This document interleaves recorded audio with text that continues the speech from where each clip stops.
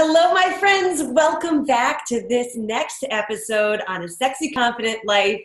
I'm so excited to be jumping into a topic about being present.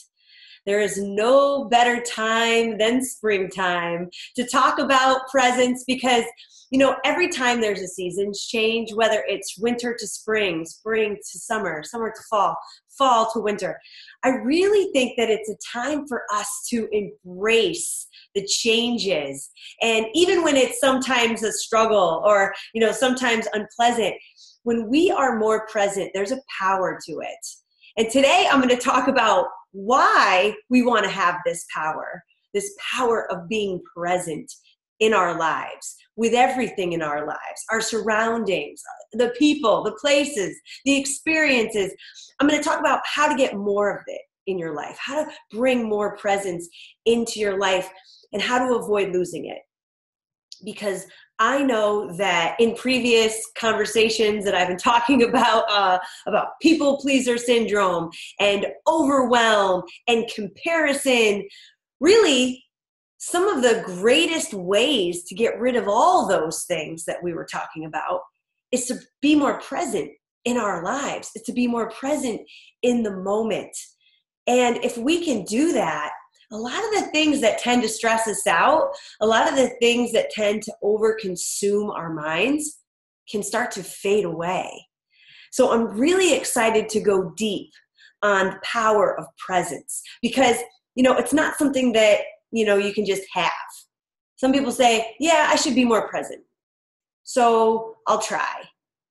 I don't believe that that's a really good strategy for really enhancing the level of presence that you bring into your day to day experiences.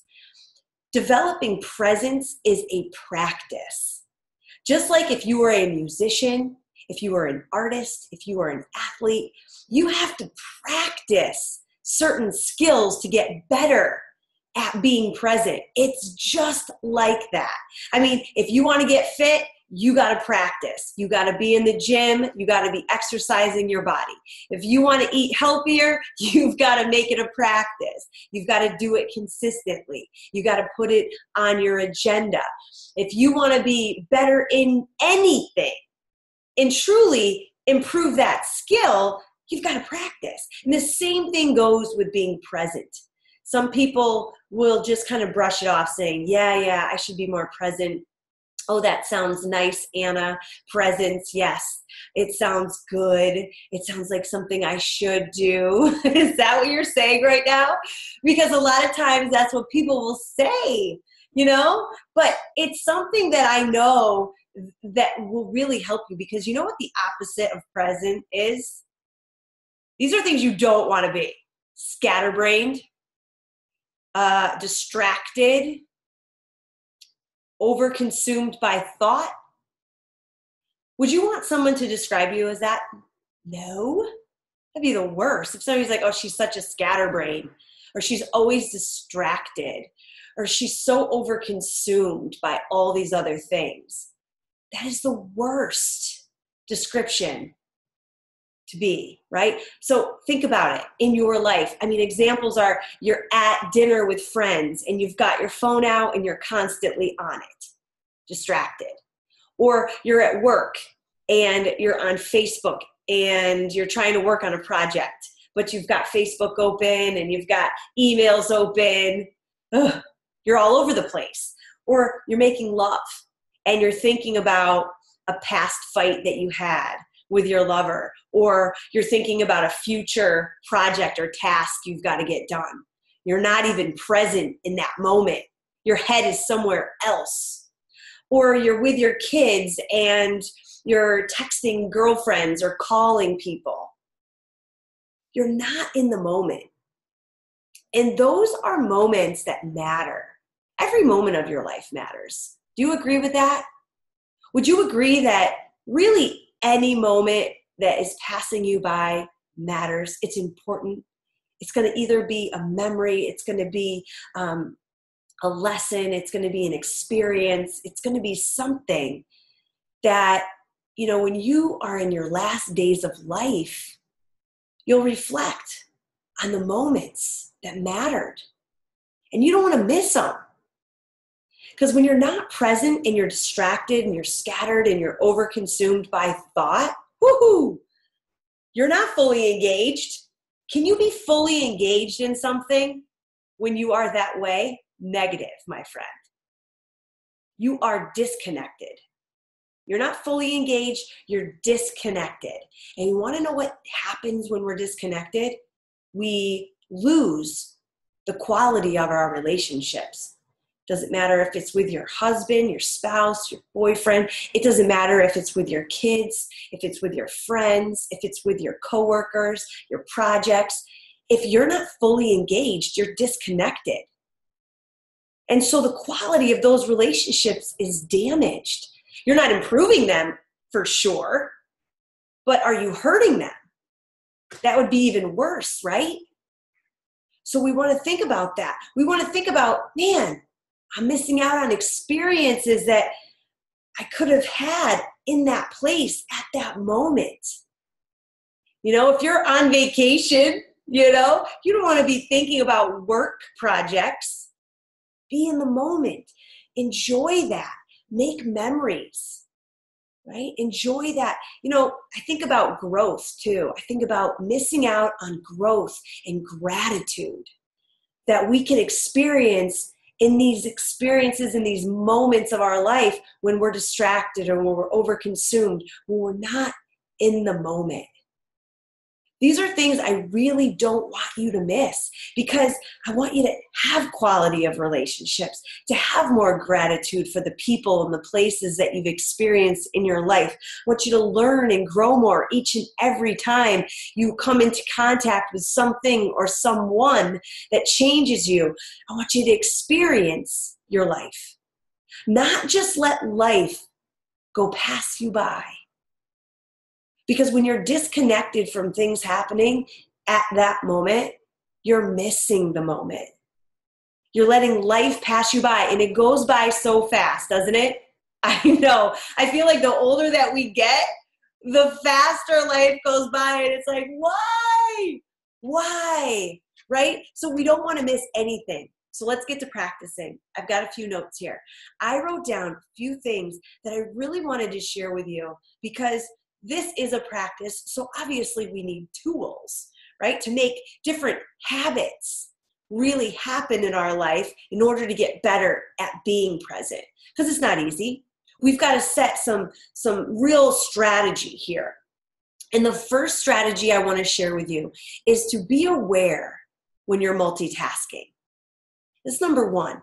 In order to increase your presence i want you to really be aware of when you are doing multiple things at once instead of focusing on the thing, right? So maybe you're working on a project at work. You've also got your Facebook open, your email open, you're booking appointments, you're checking things off your to do list. But how are you really going to get that project done? If you're at work and you've got a project to do, be fully engaged in that project. Shut down your email. Shut down your social media. Turn the phone on silent so notifications aren't dinging you every two seconds. Tell everyone on the office door that you are unavailable. Whatever you got to do, get fully engaged and don't multitask during that time. It's the same thing when you know you're out to dinner with friends. If you're trying to check your work emails to finish things up, or you're you're touching on some social media messages that you had, and you know all of these things happening, yet you're trying to have a dinner with friends, you're not experiencing that moment with them, are you? No. So the second thing you want to do is get rid of distractions. And that kind of ties right along. Well, sometimes just the awareness of when you're multitasking is really valuable because you'll see it. You'll it'll happen. I do this all the time. I notice all the time when I'm multitasking and I'm like, "Anna, get back to the thing. Get back to the thing that matters." Right? I know. And the second thing I had to do was get rid of distractions. So I mentioned that, you know, put the phone away, put it on silent, airplane mode, my favorite mode, right? Think about the things that you have to do to not be distracted by all the other things that want to draw your attention away from where you should be and what you should be focusing on. That's huge. That would be such a gem for you, just those two things right and and think about when you really got to do it when you're really um, in need of some presence so i remember brendon shared a really great story my mentor brendon burchard and he said you know when he leaves work and goes home he has to check in with himself right and he has to say i'm switching gears right now from work mode to husband mode. And so, how do I want to be when I walk through the door? Who do I want to show up as? Frazzled, lots of things, lots of stress, lots to do, blah, blah, blah, husband? Or do I want to go in supportive, loving husband, want to know about your day, care about you, care about our life? And so this goes with number three, where I feel that we have to bring our mind to the present, especially when we feel that our mind is drifting or when we're transitioning from one thing to another. I know it happens a lot, you know, you you go from work to family life to kids, you know, and then back to work. it's like, yeah, we are always going. So when you're in transition from one experience or one task to another, you've got to bring your mind to the present. You can't leave it back at that other project or back with those other people. You got to bring it to the present. And so that is really important to think about during your transitions from one thing to another. One way that I really get this practice in of bringing my mind to the present is meditation. When you're meditating every day, even if it's for five minutes, you're training your brain to eliminate the thoughts and to be in the present moment. You're literally just like not thinking about anything except what I'm doing right now. I'm sitting here I'm either listening to the birds or I'm listening to some music or my breath. I'm not thinking about anything except how my body feels, how my breath sounds, how the air feels, what's around me. I'm sitting with my feet on the floor. I've got a great posture. I think about my body. I'm here in Anna's world. There's no other thoughts going on. That's a practice, and that's what the most peaceful minds have mastered. Because trust me, people, my thoughts start to come in. Oh, yeah. And I got to swat them to the side and be like, get out of here. Boom, boom. But meditation is a way of bringing your mind into the present. And when you're practicing meditation, you're doing that. You got to check in on those thoughts. You've got to choose to engage more, right? Check in with your thoughts and choose to be fully engaged more often in your present moment. So if, if you're if you're like you know with your husband or boyfriend or someone that you care about your girlfriend and you're sitting there and you're kissing them and your mind is nowhere in that moment you better get your mind there right because that disconnect is taking and stealing from your connection, from your intimacy. It's stealing away that relationship that you've built years for, right? You've been working hard for that. And if you lost it, you'd be devastated. Right? And so we've got to choose to engage more. You know, you being aware of it is important, but choose to engage and get in there.